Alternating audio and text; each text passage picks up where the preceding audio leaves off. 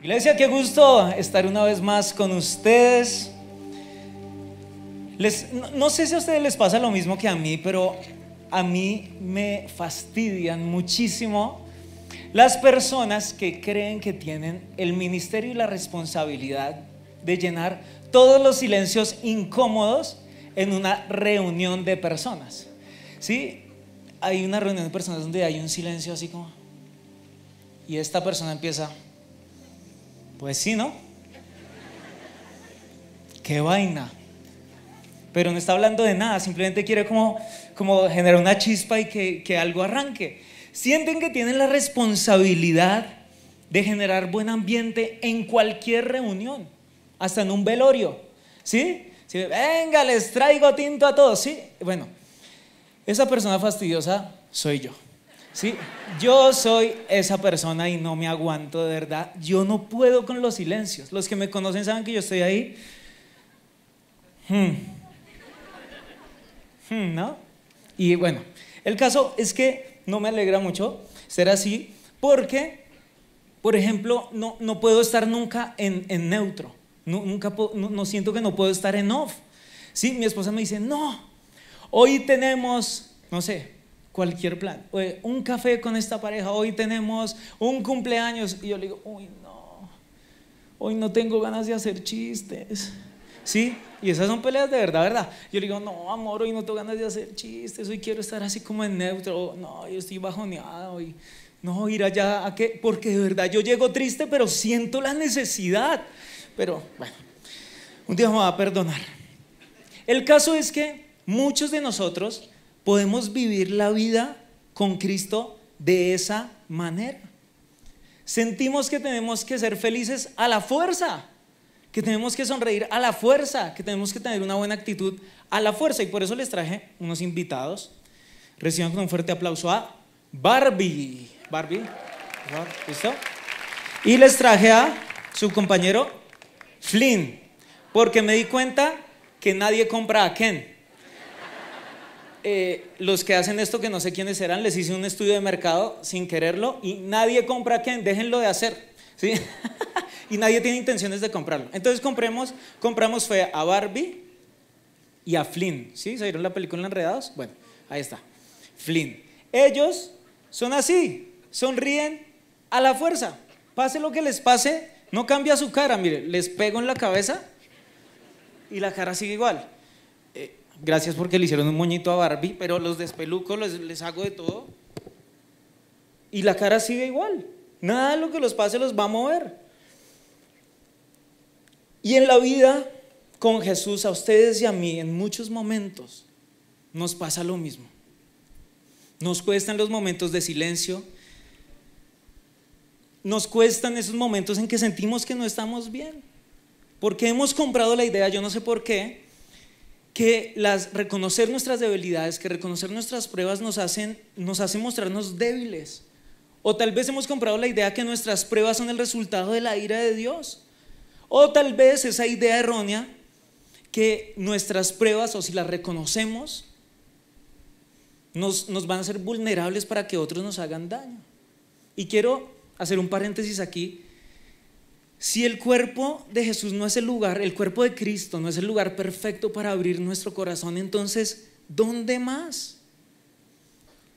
Si este no es el lugar perfecto para abrir nuestro corazón, para sentirnos cómodos abriendo nuestro corazón, entonces vamos a tener iglesias llenas de Barbies y Flins. Que les pasa lo que sea y la sonrisita así. ¿Sí? Sonrisita de Barbie. Pero hoy no vengo a hablarles a que tenemos que reconocer la prueba, o mejor dicho, sí, pero mucho más que eso. ¿Saben? Porque no es suficiente con reconocer que estamos mal, no es suficiente con reconocer que estamos en un mal momento, hay algo mucho más por hacer. Imagínense aquí abriéndoles mi corazón y que quede aquí entre nosotros. Eh, hace poco vivimos, vivimos una, una época muy complicada como familia y debo confesar que fui todo un Flynn. Sí, fui todo un sonrisa de Barbie. No, pues de, de Flynn, voy a decir mejor. Fui una sonrisa de Flynn, ¿cierto? Porque bueno. Entonces, el, el caso es que fue un momento que, que reconocí que tenía muchas heridas abiertas y las cubría con sonrisa de Flynn. ¿Sí? Las cubría con una cura y era como si esas heridas debajo de esa cura se estuvieran zancochando, pero no estaban sanando. Sentía que todo, absolutamente todo se me había juntado. Y lo único que yo quería era tirar la toalla, dejar todo tirado. Sentí que estaba saliendo lo peor de mi corazón, cosas que yo ni siquiera nunca había experimentado. Me quería ir por allá a Marte. Sí, quería llamar a Elon Musk y que me hiciera una casa en la luna y para allá irme a vivir. Yo, Señor, ven ya. Yo solo me levantaba por la mañana y decía que suenen esas trompetas hoy. ¿Sí? Pero les voy a dar un poquito de contexto. Les voy a dar un poquito de contexto.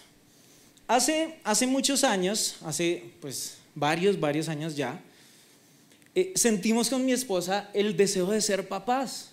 ¿Sí? Y, y, yo sé, otro con el tema. No, no, pero pues, ¿qué podemos hacer? ¿Cierto? Si, es verdad. Entonces sentimos el, deseo de ser papás y no se dio. Y no se dio. Sí, o sea, uno recién se casa y es como, no se me acerque. ¿Sí? No me salude tan fuerte que queda embarazada, ¿no? Pero solo es que uno quiera y, ¿no es cierto? Yo, bueno, no sé si voy a decir esto, pero bueno, yo le decía a mi esposa como, uy, disfracémonos de adolescentes a ver si pasa algo. Pongámonos uniforme de colegio, hagamos alguna cosa, ¿sí? Alquilemos una ruta, ¿sí? Pero, pero bueno, el, el tema es que no lo intentamos, no vayan a decir, ¿sí? No, no. Pero el tema es que lo intentábamos y, y, pasaba el tiempo y pasaba el tiempo y la prueba se empezó a poner dura y recontradura y pasó de todo. Que no viene el caso entrar en detalles, pero hubo muchas lágrimas, hubo rabia, hubo decepción, hubo desesperanza, hubo frustración, hubo vergüenza. Y, y no vengo aquí a decirles, sí, hoy quiero contarles, no, pues nada, todavía nada. Pero, pues, pues sí. Y, pero mientras pasábamos esta prueba tan dura, hace muchos años, bueno, empezó pandemia, empezó todo esto, y llegó el grandiosísimo año 2022. Qué joyita de año, ¿no? Yo creo que se reúnen todos los años y a ese man es, y ese es una caspa. O sea, el 2022 fue el año, ¿sí? Y, y, para mí fue muy difícil, o sea, de verdad fue un año que yo en septiembre decía, Señor, pasemos a enero de 2023, ¿qué más va a pasar este año? Y, y imagínense, el año empezó y nos dio COVID. ¡Prun! Nosotros así como, ay, invicto, ya así en la meta y ¡prun! En la meta nos fuimos de espaldas.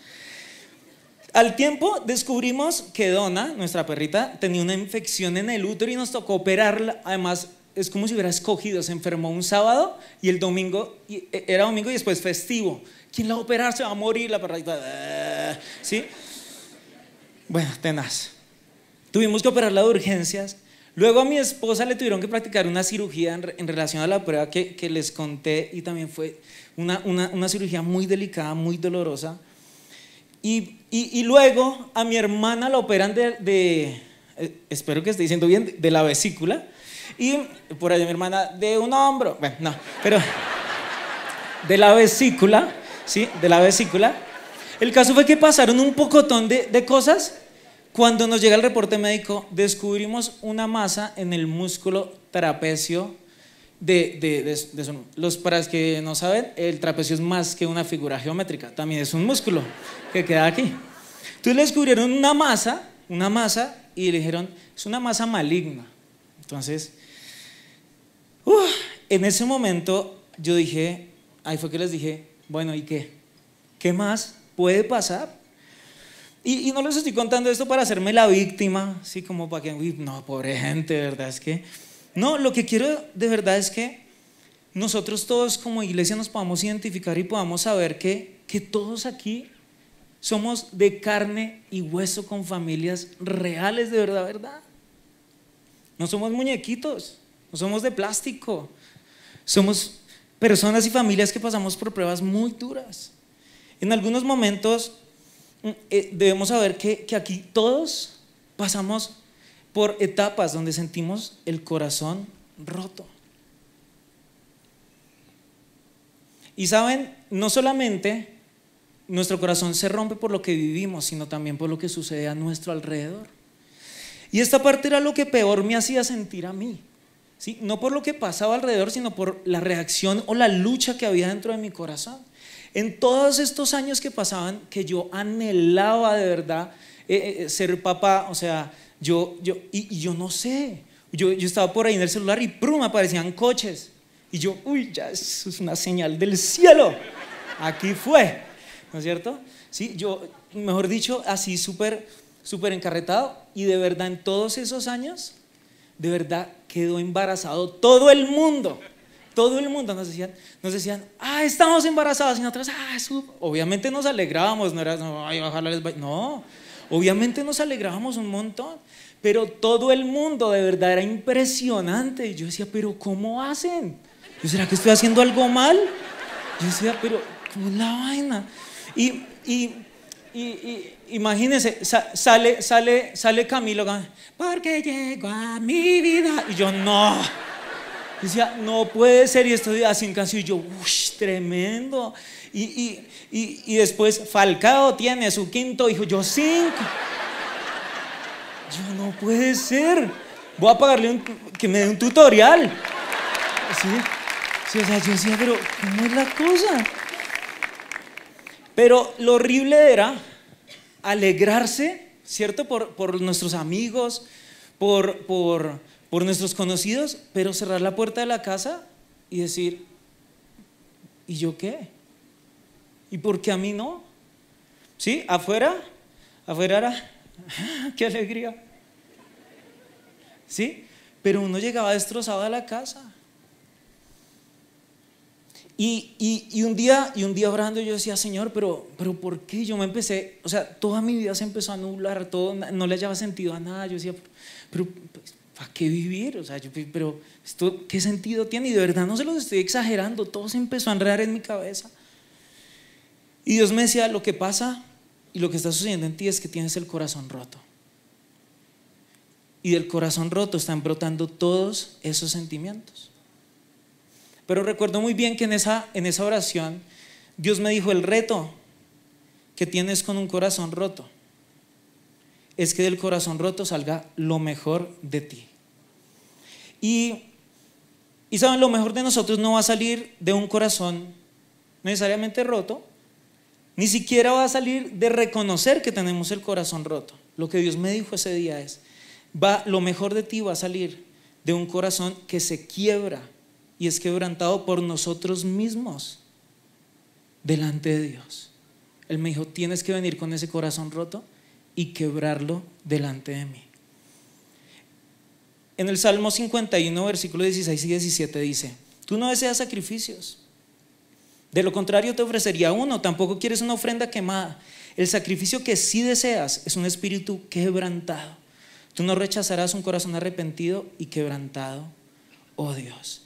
Y por eso quiero que veamos un poco qué es un corazón roto y qué es un corazón quebrantado.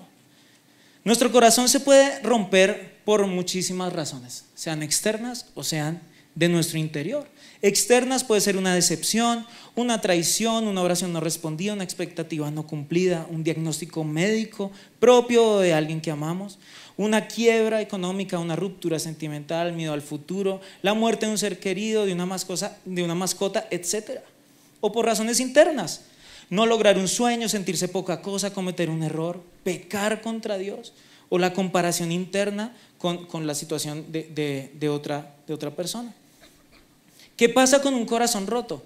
Que lo que va a brotar de un corazón roto son puros sentimientos. Es reacción a, todos nuestros sentimientos.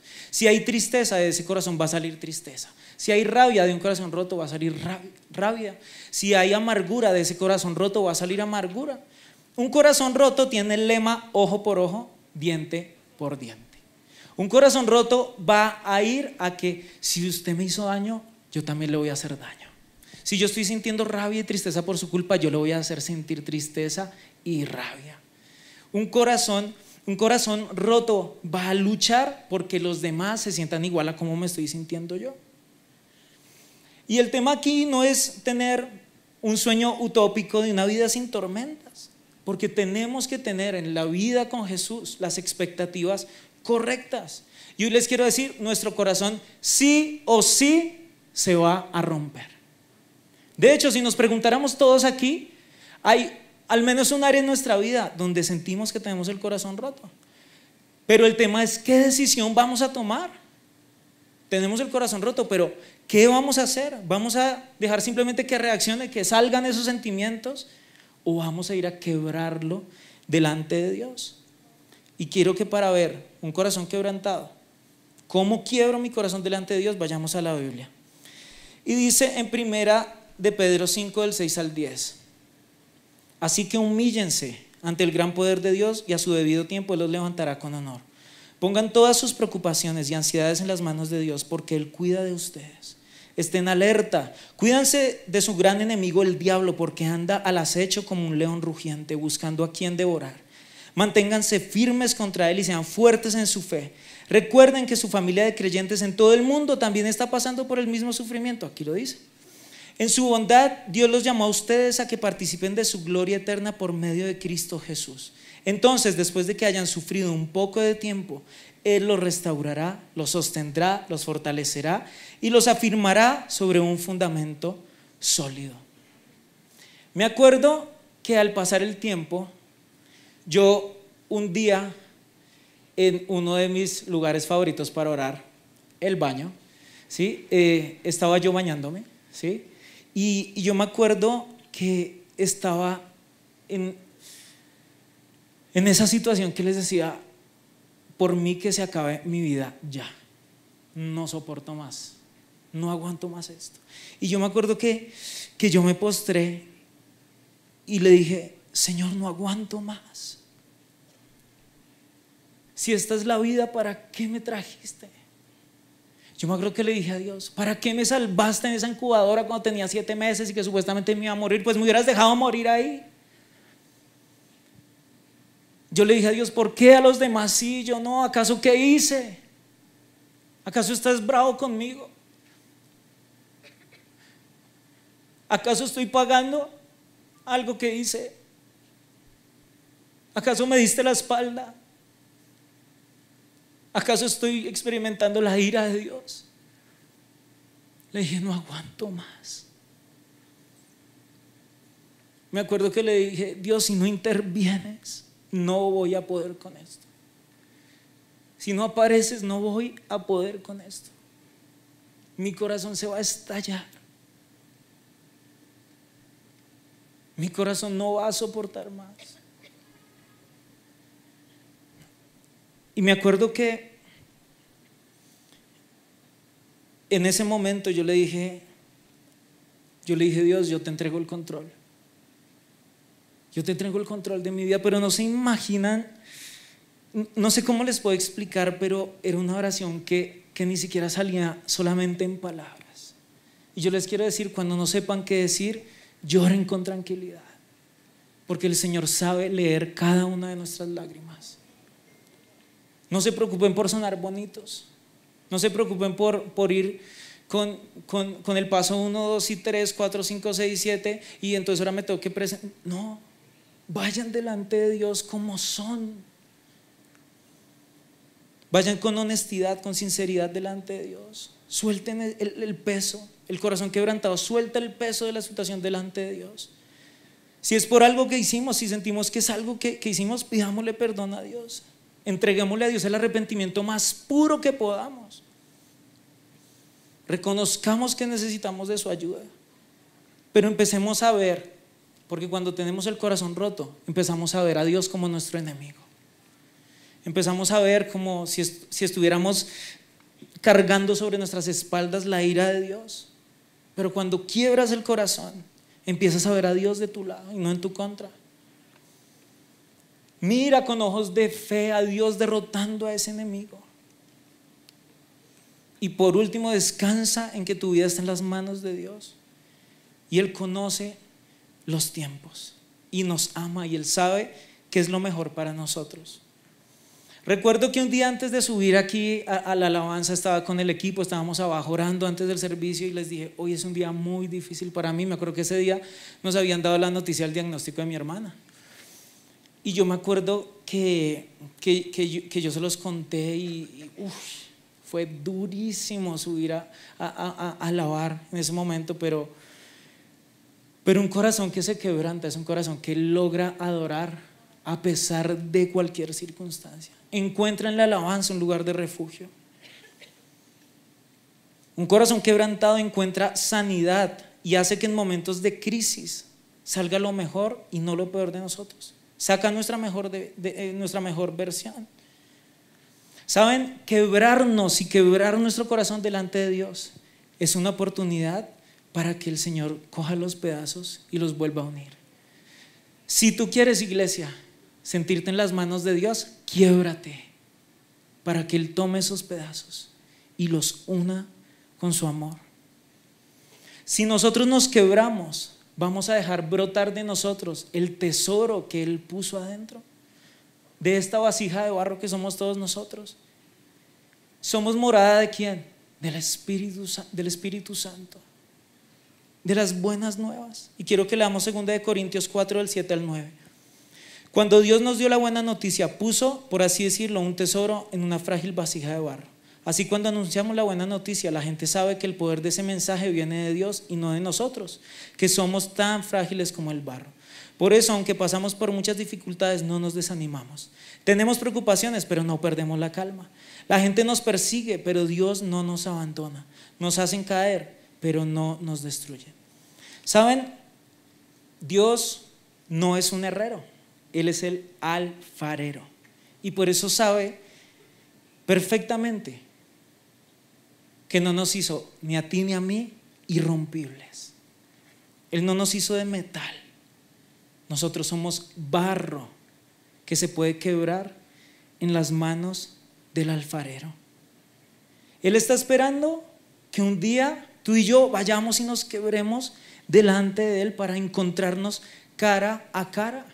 El quebrantamiento es una cita de amor entre Él y cada uno de nosotros.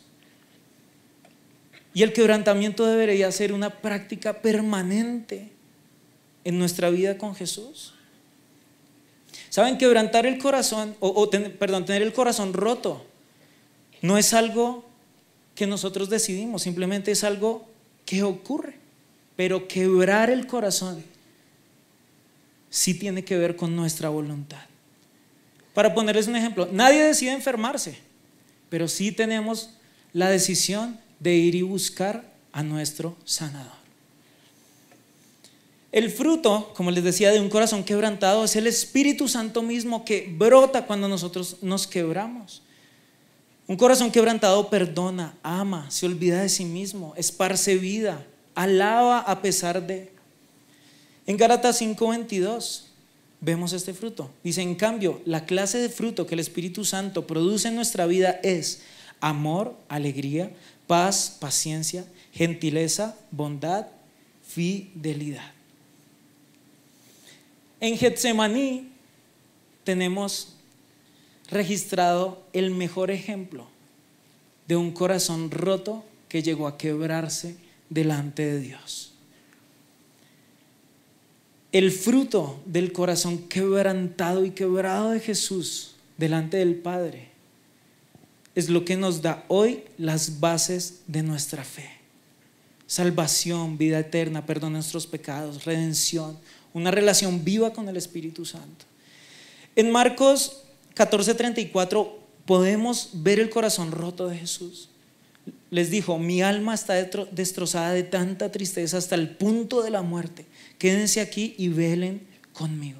Pero pasa el corazón quebrantado en el versículo 35 y 36. Se adelantó un poco más y cayó en tierra. Pidió en oración que si fuera posible pasara de la horrible hora que le esperaba. Abba Padre clamó, todo es posible para ti. Te pido que quites esta copa de sufrimiento de mí. Sin embargo, quiero que se haga tu voluntad y no la mía. Literalmente, cuando su corazón se estaba desangrando, de ese corazón quebrantado brotó salvación para ti y para mí de ese corazón que se estaba, de ese cuerpo que se estaba desocupando de sangre, brotó a lo que a ti y a mí hoy nos da vida eterna, esperanza, redención, limpieza de nuestros pecados, un nuevo inicio. Las diferentes crisis te van a enseñar una nueva faceta de Dios. Como tu corazón se rompió, te va a, enseñar o te va a, ayudar a conocer una nueva faceta de Dios cuando Él venga a restaurarte. Por ejemplo, el corazón quebrantado de David nos enseñó el perdón incalculable de Dios. El corazón quebrantado de José nos enseñó la fidelidad de Dios. El corazón quebrantado de Agar nos enseñó al Dios que nos ve. El corazón quebrantado de Abraham nos enseñó al Dios nuestro proveedor. Y solo por mencionar algunas, podría mencionar infinidad de facetas de Dios. Entonces te estás haciendo la pregunta, ¿por qué estamos todos aquí? Porque traemos todos y juntamos aquí todos nuestros corazones rotos para quebrantarlo, quebrarlo delante de Dios. No hay personas perfectas, ni arriba ni abajo de la tarima. No hay familias perfectas, no hay vidas ideales. Somos todos corazones rotos que van a quebrarse delante de Dios porque sin Dios no somos absolutamente nada. Quiero decirte algo, ten esperanza, no te juzgues, no te des más palo del que ya la situación te está dando. Dios sabe que somos mucho más que la peor versión de nosotros que el corazón roto está mostrando. Nuestra mejor versión está a un quebrantamiento de distancia.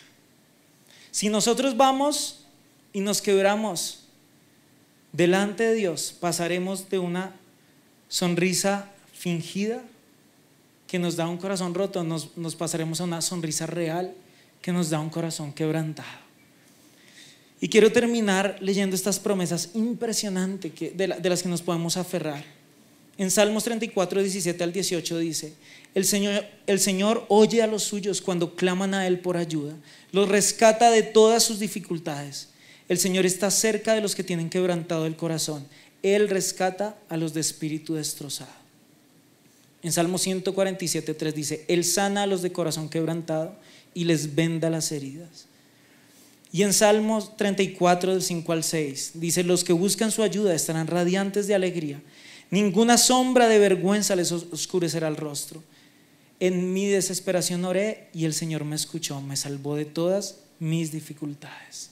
Iglesia, quiero que nos pongamos de pie y quiero que presentemos ese corazón delante de Dios y lo vamos a quebrar delante de Dios.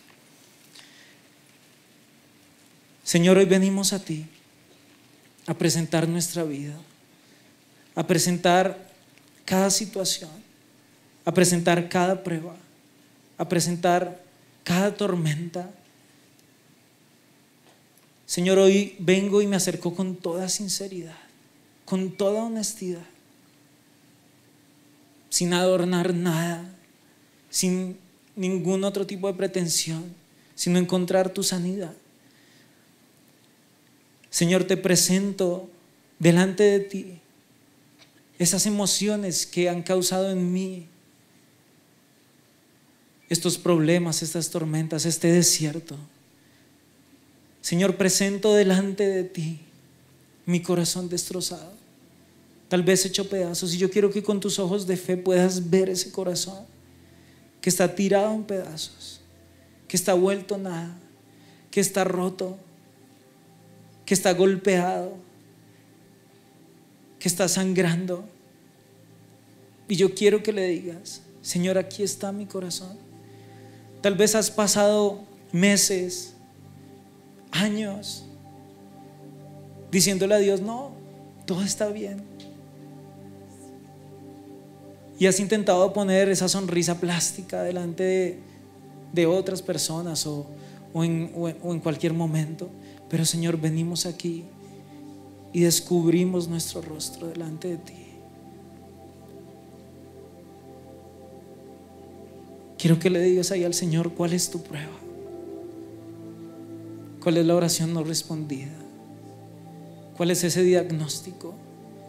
¿Qué es eso que has esperado por tantos años y no ocurre? ¿Qué es eso que anhelas con todo tu corazón y, lo, y, ves que todo el mundo lo consigue, pero preciso a ti no te toca? Señor, esto no ha sido fácil. Y ahora quiero que le diga, Señor, estos son mis sentimientos. He sentido rabia. He sentido tristeza. He sentido ganas de morirme. He sentido, Señor, que me diste la espalda. He sentido que en vez de ser tu hijo, soy tu enemigo. Señor, he sentido que me dejaste, que escuchas la oración de otros, pero no escuchas mi oración.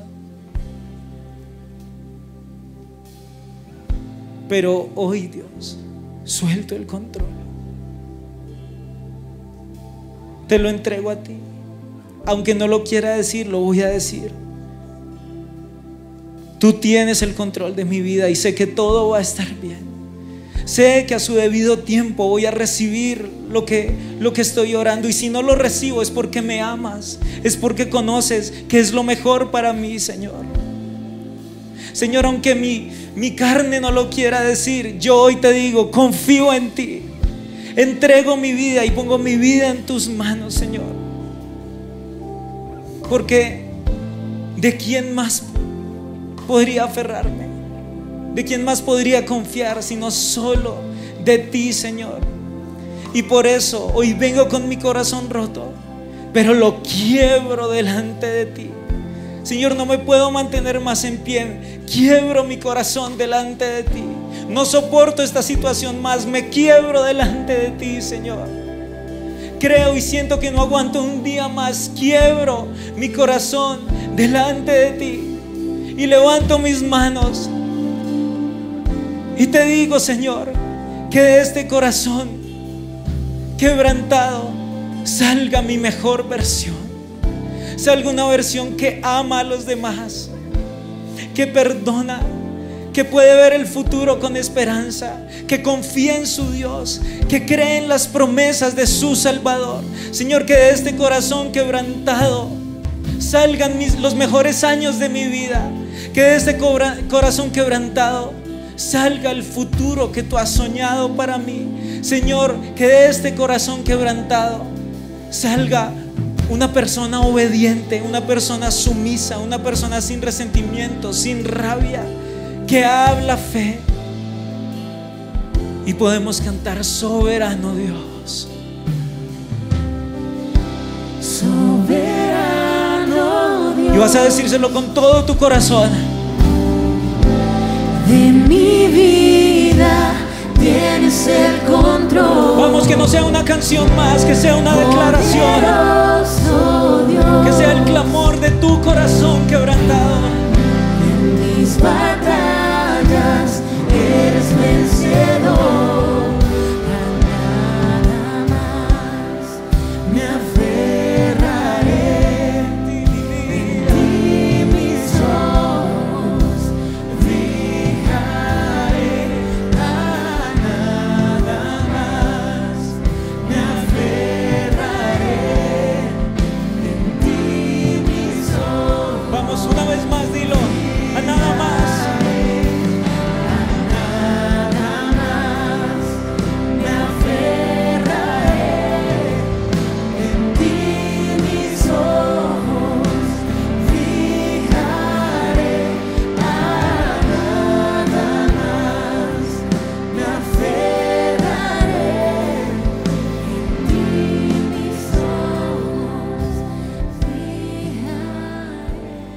vas a cantar esto con todo tu corazón.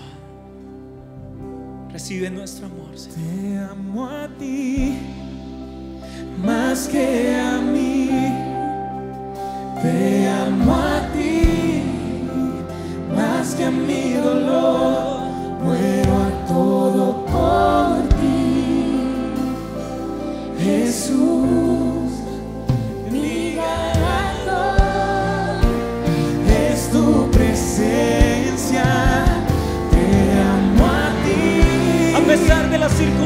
Señor. Te amo a ti a pesar de los sentimientos. a ti. A pesar de lo que ven mis ojos. A pesar de lo que no llega.